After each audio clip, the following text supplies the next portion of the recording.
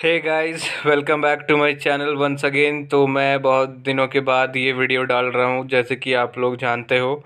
तो मैं इस वीडियो में मैं सरस्वती माता को स्केच करके दिखाने वाला हूँ, जो कि ऐसे ऊपर में जो ब्लिंक हो रहा है, वही रेफरेंस फ़ोटो है। आप लोग चाहो तो डिस्क्रिप्शन से डाउनलोड कर सकते हो।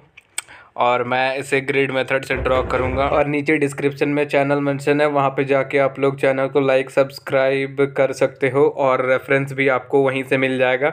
और एंड में लाइक करना ना भूले चैनल को तो आइए हम लोग स्टार्ट करते हैं स्केचिंग स्केच बनाने के लिए मैं ब्रूस्टो ए फोर साइज़ का शीट लिया हूँ two hundred G S M और रेफरेंस को मैं पहले ग्रिड में कन्वर्ट कर चुका हूँ।